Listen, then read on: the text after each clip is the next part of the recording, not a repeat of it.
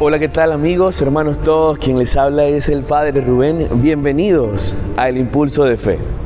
Nos encontramos en este domingo abriendo una puerta, la puerta de un nuevo tiempo litúrgico y de un nuevo año litúrgico, como lo es el Adviento, tiempo de espera.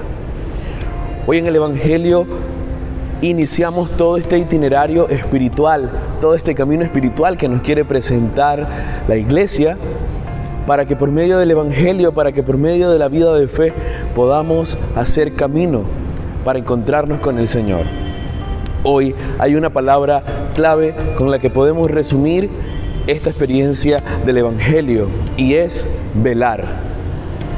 Velar que implica estar atentos, velar que implica tener cuidado, velar que implica proteger, así como lo dice el Evangelio velar, porque no sabemos en qué momento llega el dueño de la casa, en qué momento llega el jefe, el patrón, para encontrarse, simplemente para eso.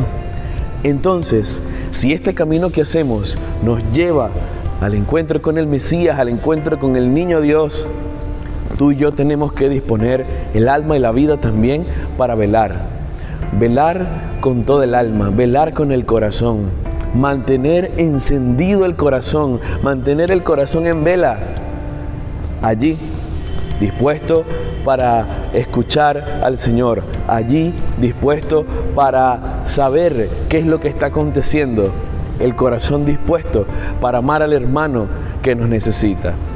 Esto es la puerta que se abre para vivir el tiempo litúrgico del Adviento. Feliz domingo para todos y que Dios les bendiga.